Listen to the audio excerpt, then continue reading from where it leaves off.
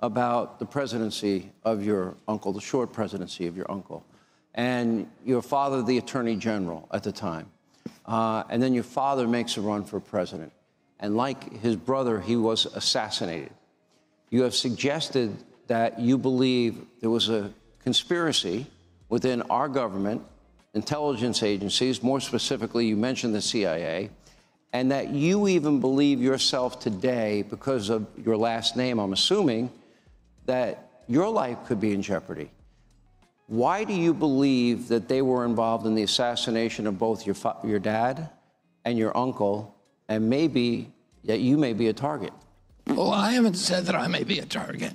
Uh, people have asked me if I, I mean, there's always, for anybody who runs for president, Anybody who's on on Fox is a target, but yeah, go ahead. So, you know, I mean, I, I think I've taken a lot worse risks in my life than running for president. So I, um, uh, but it's but, but it's also got to be hard. You lost your uncle, you lost your father. I mean, that's horrible. Yeah, but what are you saying? Are you no? So why do you think that our government could be involved in? Oh well, you know, evidence? listen when. The Warren Commission, obviously, which was run by Allen Dulles, who was the head of the CIA, who my uncle fired, found that it was a lone shooter, which was Lee Harvey Oswald. But when Congress, a congressional committee, reinvestigated between 1977 and 1979 the House Select Assassinations Committee, they concluded, and, and, they saw a lot more documentation and had a lot more witnesses than the Warren Commission ever saw. They concluded that my uncle was killed by a, a conspiracy. And the, most of the people, for example, Richard Schweiker, who was the first the head of the committee, publicly said uh, JFK, John, the president of the United States was that the CIA was involved in the murder of the president of the United States. And that's quotation. Most of the people on that committee at that time believed it was the CIA, that it was believed certain pe- people in the CIA. You were, you were seven at the time? Seven or eight? I was I was ten when my uncle was killed. I was fourteen when my father was killed. Oh, um, you know, the, and today there is overwhelming evidence. I mean, in fact, why don't the it was, it was, government uh, needs to know, release the, all of the files on it and let it let be transparent. Let us see the information. Yeah, well, that's a good question.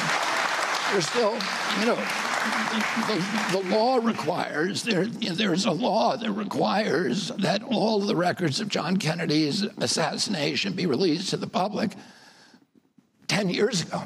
So they're still holding 5,000 documents. President Biden promised when he was elected that he was going to release those documents. President Trump promised that he would. But the CIA doesn't want them to. And so the question that I think Americans have a right to ask, including members of, you know, my father and uncle's family, is why not? What is it that you don't want to see 60 years later? And by the way, the last, you know, the last, the last tranche, the last tranche of documents released um, had documentation in there that finally got even the New York Times to admit that Lee Harvey Oswald was a CIA asset, that he was working for the CIA. So, um, in America, if the Warren Commission had known that back in, in you know 1964, they would have had a very different time. And the House Assassinations Committee never knew that. Mm-hmm. That was released. Um, you know, we've known that, that we've had documentation that known that at least a decade. But some of that documentation became overwhelming in this last tranche. And finally, the mainstream media acknowledged that, yeah, he had this relationship with the CIA going back to 1957 or 1958. Hey, Sean Hannity here. Hey, click here to subscribe to Fox News YouTube page and catch our hottest interviews and most.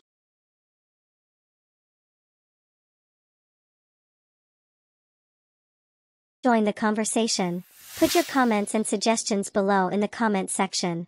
Thank you for subscribing to this news channel. You will be notified of any breaking news and new post as you become part and parcel of the Mekadd TV family. Please like and share Mekadd TV. We love you all.